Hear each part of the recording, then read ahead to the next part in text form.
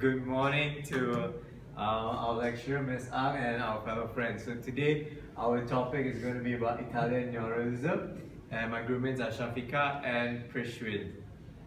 So uh, before we start our presentation, we would like to show you guys a short video we made for you guys, like the whole recap of Italian neorealism according to the film uh, The Bicycle Thief. Hi guys, welcome back to another episode of SCP Productions. Today, we will be talking about Italian neorealism. The use of neorealism is effective in presenting realistic situations. Understanding neorealism is important because it was the source of many great films such as The Bicycle Thief. Italian neorealism also influenced a number of genres. Realism doesn't mean showing real things, but showing how things really are, said by the amazing Bertolt Brecht. The use of non-professional actors are very prevalent in neorealism films. Also, scenes from everyday life of the working class are common. The film often explores Italian society and focuses on social problems such as poverty and high unemployment. Vittorio De Sica, the director of The Bicycle Thief, used perspective shots often. Many scenes greatly portrayed the realism of unemployment which gives a cathartic feeling to the audience. The restaurant scene in The Bicycle Thief greatly depicted the social gap between the different classes. The scene demonstrates the difference in culture between how people are treated based on their income and background. Gabriele, prego, senti il signore là.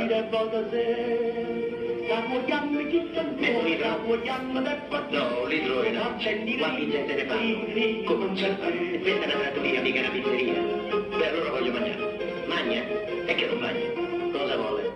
Cosa vuole? Italian neorealism was a very influential genre towards the French New Wave film Breathless. You can view certain aspects drawn from the genre such as filming on location with natural lighting and presenting how people interact in everyday life situations. Qu'est-ce qu'il y a Rien, je te regarde.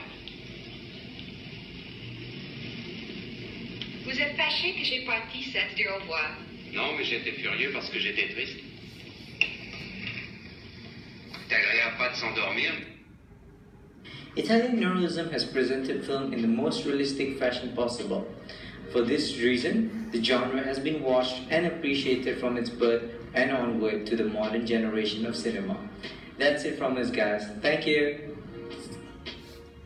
Uh, okay, so yeah, uh, Italian neorealism is also known as the golden age of national a golden age. It's the national film movement characterized by stories set among the poor and the working class.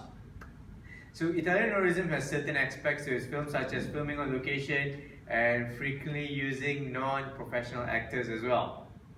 Italian realism film mostly contend with the difficult economic and moral condition of the post post-World War II in Italy. Ah, Okay, slide three. Okay, Italian cinema is actually the only one to salvage from within the very period it depicts uh, a revolutionary humanism said by Andre Bazin. The long held, the long held standard view of Bazin's critical system is that he argued for films that depicted what he saw as objective reality, such as always portrayed in Italian neorealism film. So uh, these were the struggles of people in Italy where, after the post-World War II.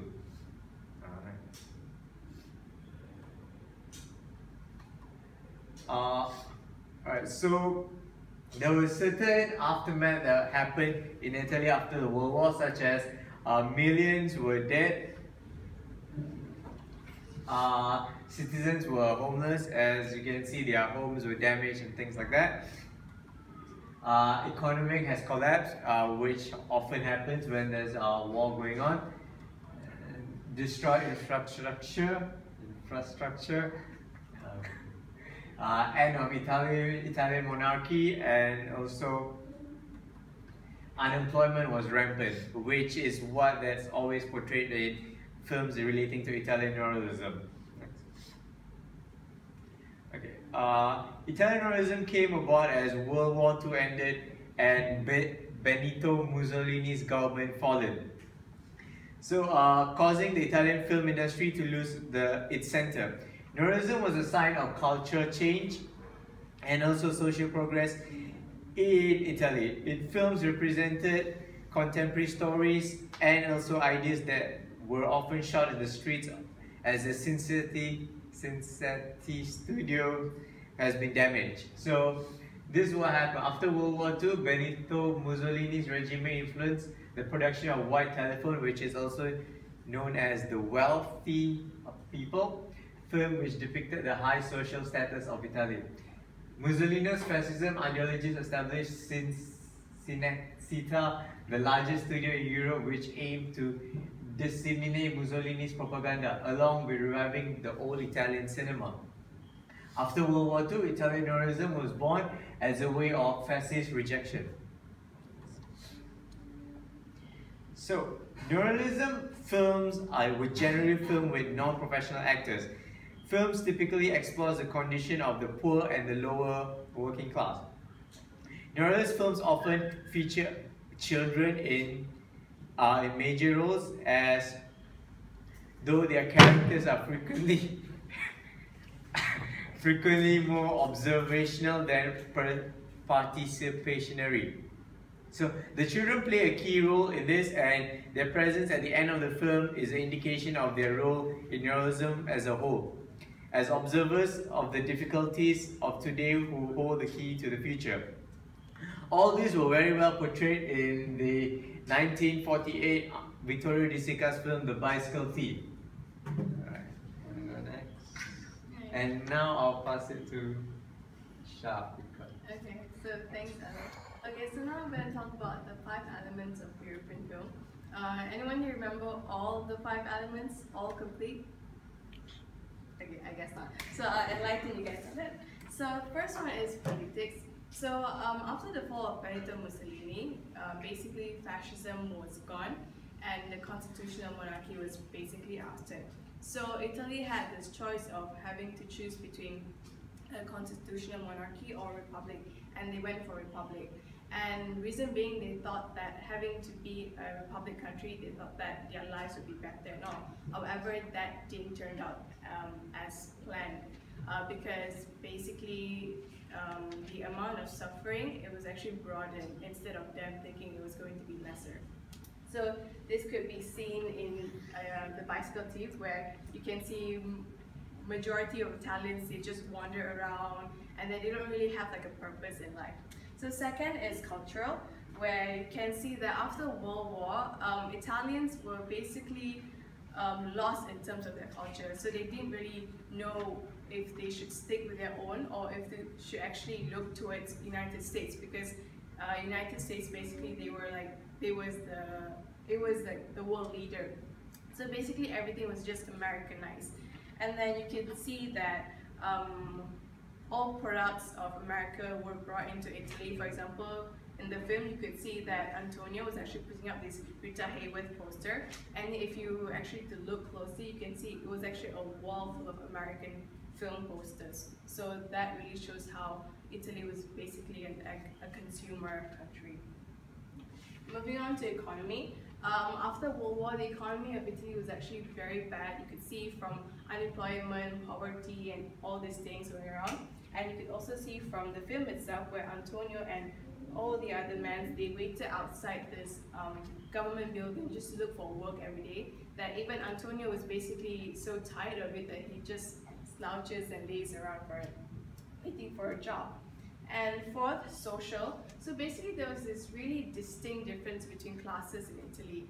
Um, there was no in-between, it was just high and low. So if you're high, you get really uh, respected because you're from a well-to-do family and that people will cater to your all your needs.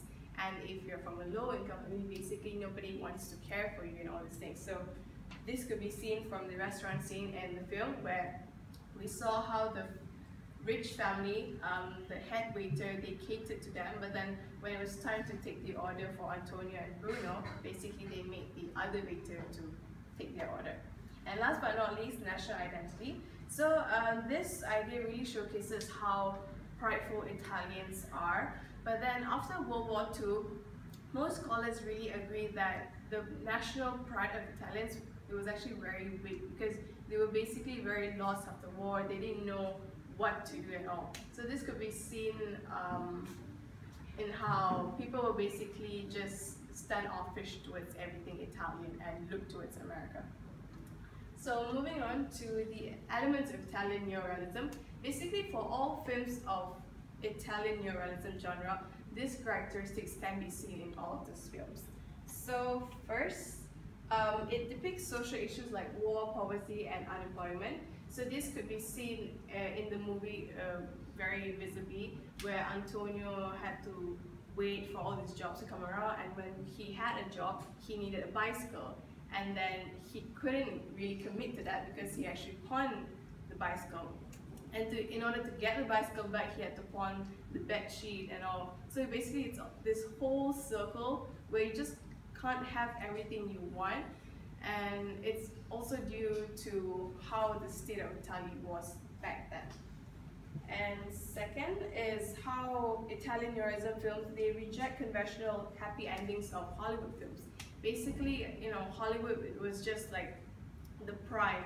So all Hollywood films, they just depicted happy endings. So it's like you have all these tragic incidents, but then in the end, it's all, you know, all smiles, everything rainbows and all. But then for Italian neorealism, it shows reality, that's what it is. So it's a reflection of real life. So you can see from the ending of the bicycle thief event that when after Antonio steals the bicycle and then Bruno comes to comfort his father, it was just very, it was hanging, there was no closure because basically that's a depiction of real life. And third, um, it represents human reality. So basically Italian neorealism, it focuses on the working class community and um, it shows um, the basically the reality of what went on last time in Italy, where there was this really um, distinction between all the classes and how all these classes are treated and all. And fourth, um, the use of non-professional actors. Um, basically, most of the directors of Italian neorealism really um, resorted to this because they felt that having to use non-professional actors really um, could depict the situation much more um, clearly in a sense that the viewers can connect to what they see on screen. So, um, for example, Antonio, the father, he was actually just a factory worker. Bruno was just a kid um, the directors saw um, during one of the audition. And then Maria, the mother, was just a journalist. So all these people, they didn't really have any like acting backgrounds. They were just taken off from the street and then put in these films. Alright, so now moving on to Prishvi. Um, I'm talking about exchange value. So Karl Marx, um, a philosopher, he attributes the exchange of value to as an item which holds the price economically. Actually four aspects. First is value, use of value, uh, exchange value, and price. For example, Antonio managed to get a job but in order for him to actually to do his job as a poster boy, he needs a bicycle. But then like how she said, how Shafika said, that um, they, I mean, he bought his bicycle. So now they now they have to. So Antonio and Maria was, I mean, was their bedsheet to drive the bicycle back. Value motive, as you can see throughout the whole movie, um, the main value is actually the bicycle.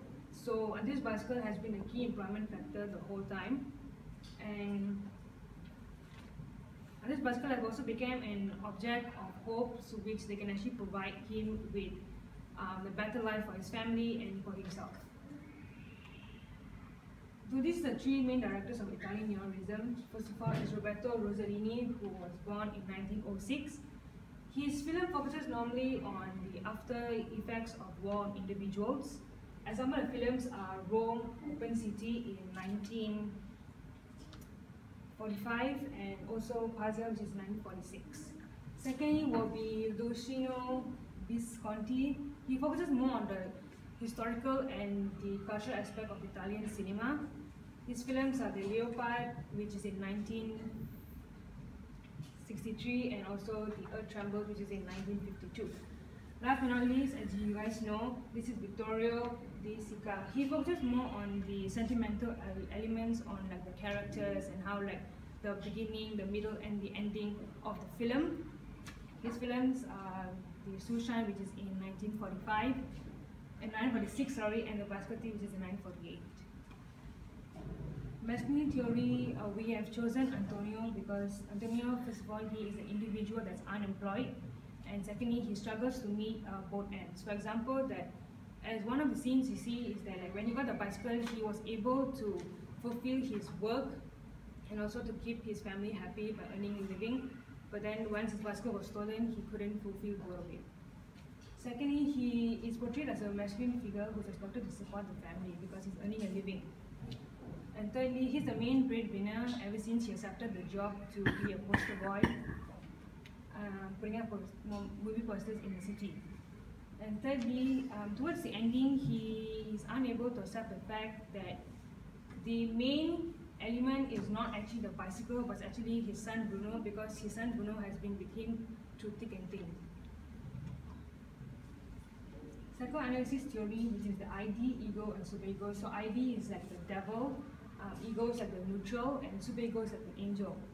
For instance, as you can see in this GIF here, Antonio is stealing someone else's bicycle out of desperation. Antonio didn't really think that he would actually get caught because when his bicycle got stolen the first time, they didn't really catch the person. And to me, I feel that like I think something inside, inside him is telling them like, so what, still a bike, nothing's gonna happen. You know, it's not really a big deal. Secondly is the reality of their lives without their only valuable possession, their bicycle. As you can see, they are just sitting on, on a pavement and surrounded by them are people on their bicycles. This is the reality of what their lives are. Their lives are meaningless after losing their valuable possessions, the bicycle. And thirdly, uh, Bruno portrays his moralistic self by giving back his father's pride after Antonio failed, failed attempt to steal a bicycle. Even though knowing that the father might actually go to jail, but Bruno still stood by his uh, father and looked up at him as a role model. A Example of the scene can be taken is that when Antonio was asleep, got caught by other people, Bruno still picked up the father's head and actually ran towards him to go and see like what's happening. The last but not least is the author theory, which is the director Vittorio De Sica. Um, like I said earlier, he's, he favors sentimental narrative in his films. Um, his characters are invisible individuals made visible to us. For instance, it's like we as individuals, um, we have the tendency to actually um, capture odd elements in a film. So towards the beginning, um, when Antonio got a bicycle, we were like, oh, okay, bicycle. So like we weren't really like, we didn't really curious on how the movie is going to be like. But once his bicycle got stolen, we were like, oh my god, like is Antonio gonna, is he gonna find his bicycle? Like what's gonna happen? Like is he, is wife gonna leave him? And then they are hassled by the oppression and poverty. Even back in 1948, Italian, um, you know, Italy is not really, uh, it wasn't really doing well, especially if you were actually poor. Um, major the locations you see in the movie is actually all real location, like that's actually Rome. And last but not least is the desperation of the working class. Uh, this one, it also depends on like if you are high class, then you can afford if you're not high class, then you cannot afford. So this one basically says um, the frustration that Antonio had from the beginning when he didn't have the bicycle. Then when he had his bicycle, he was all well, and then when he lost his bicycle again, and then like desperation also refers to Bruno, where like he can't really um, get what he wants. Alright, uh, that's all we have for today, so thank you so much. Right now we're going to move on to the discussion part. Um, so I'll be distributing this paper. Okay.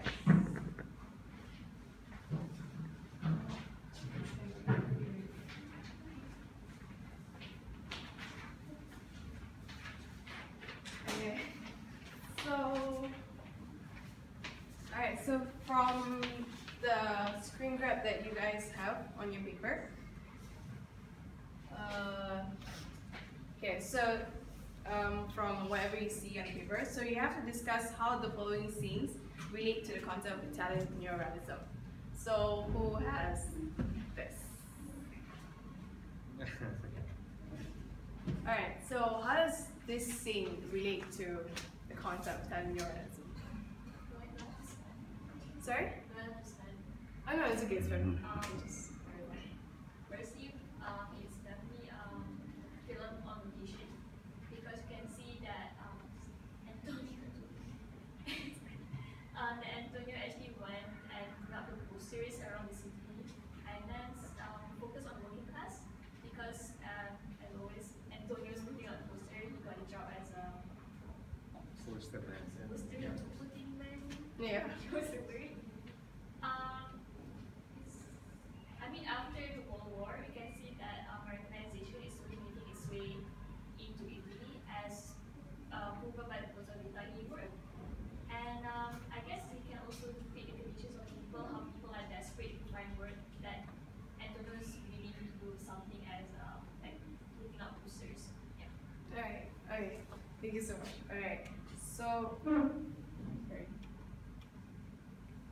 So, who has this scene?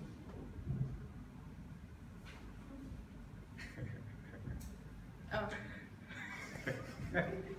Maybe we'll move on to the next. I just, I think we'll move on to the next thing because I think no one has it right here.